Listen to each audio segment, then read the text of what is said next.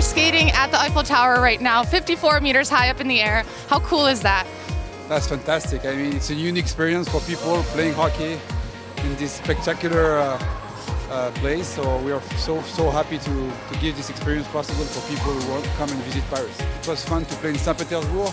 We played there uh, in 2000 with the national team, but uh, Olympic Games were so so good experience. I have the chance to participate to Nagano and Salt Lake City, and uh, for sure it's something you never forget as an athlete.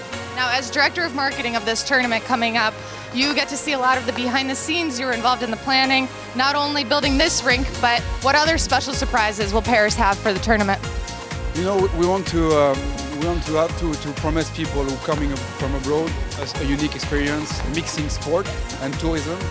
For sure, we people coming from all over the world can come and watch the best hockey in the world, and in the same time they can come into the Eiffel Tower and visiting everything Paris can uh, can propose. So it's a unique possibility for people to come and mix tourism and passion for sports. Is there anything specific you said come to experience the tourism and all of that, but for not only hockey fans, but people that want to come experience excitement during World Championships, what else can they do besides hockey?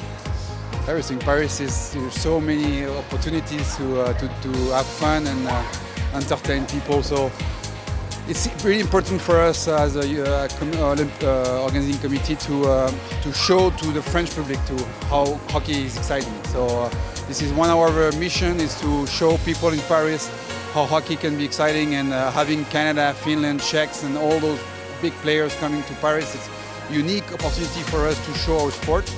It's a really spectacular sport and we want to show it to everybody talking about the French national team, uh, they do better and better every year. So, what is something that uh, French fans can look forward to with the French national team?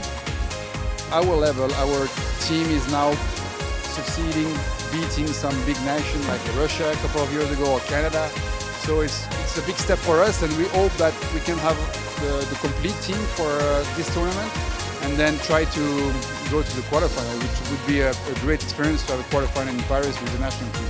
So at least we are proud of our team because they always fight for the jersey and uh, do their best. So I'm, I'm, sure they're gonna do their best in front of their, their fans. I'm sure we're gonna have a big uh, big fun around around the tournament. Fantastic! I can't wait. Stay tuned to the IIHF World Championship official YouTube channel. Subscribe and don't forget to buy your tickets. The tournament goes on May 5th through May 21st. We'll see you in Cologne and Paris.